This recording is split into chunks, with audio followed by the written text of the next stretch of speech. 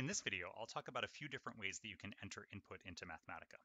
In the previous video, I talked about how important it is to use capital letters for built-in functions and square brackets when substituting values into those built-in functions. But there are a few easier ways to enter uh, commands into Mathematica, even if you don't know what the correct syntax is. The first way is called free-form linguistic input, and you access this simply by starting on a new line and pressing the equal sign. You'll see a large orange equal sign show up, and then here you're just going to type in natural language what it is you want Mathematica to do. So for example, if we're trying to solve an equation, like solve for x squared equals x plus 3, we can simply type that in. And then if we press our shift enter as we normally do to evaluate input, Mathematica will interpret what we typed in and then do two things.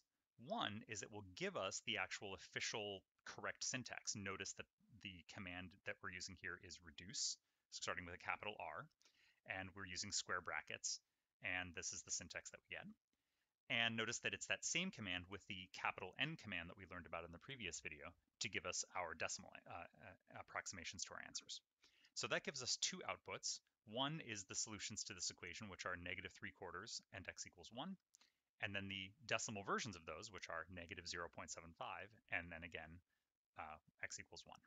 So this is a nice way to get done what you want to get done, even if you don't know the exact syntax. Once we do this, if we want to actually say, oh, now I understand that reduce was the command I was supposed to use, I can actually click that, that text, uh, the, the, the syntax here, and it will replace what I originally typed with this command. And so no one will ever know that I used the freeform linguistic input to evaluate that. We can do many things with this. We can plot graphs. So for example, I could say plot y equals x squared. And then Mathematica will think about that and then give us our plot command. So we see that the command that plots a graph is plot with capital P. We see we're plotting x squared, and then we see here it says x negative 1.2 comma 1.2. And if we look at our graph, we can actually see that the x values of our graph go from negative 1.2 to 1.2. If that wasn't exactly what we wanted, then we could click to replace our input with that. And then we could say, well, what I really wanted was my graph to go from x equals negative 10 to 10. And I could change the command, hit enter again, and then it gives me an updated graph, which is maybe more what I wanted. So we can use the freeform linguistic input as a starting point and then modify what it gives us to produce the actual output that we want. So the other way that we can enter commands into Mathematica is using Wolfram Alpha.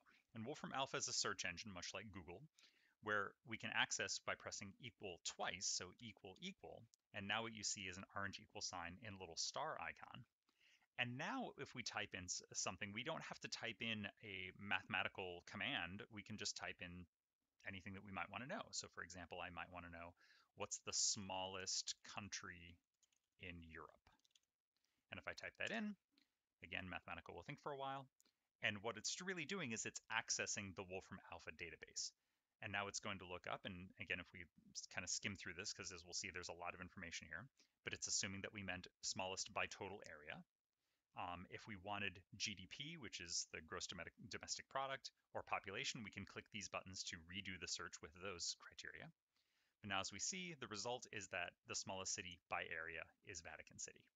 And then in addition, it's giving us a lot of information about that result, the total area, the population, languages, and so on all the same kind of information that we would get if we simply went to Wolfram Alpha directly.